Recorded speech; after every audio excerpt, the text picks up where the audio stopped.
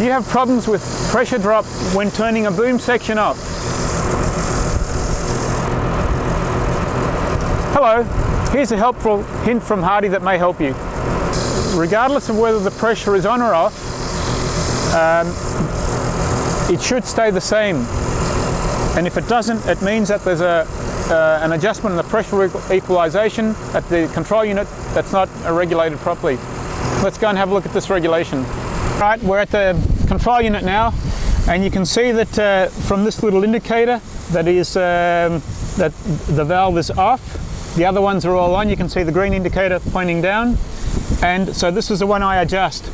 And the pressure should be 2 bar. That's what the pressure is up the front. If I turn this, you can see the pressure rising. And once I'm at 2 bar, then it's set. Easy.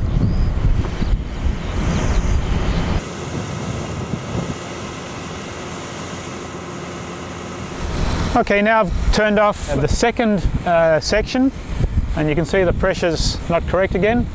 Adjust it up and it's done. A question, what happens if I need to change nozzles? Uh, for example, going from the this blue to the other blue that I've got around the back here. Do I need to recalibrate? No. It's only when you change to nozzles of different capacities that uh, we need to recalibrate the equalization.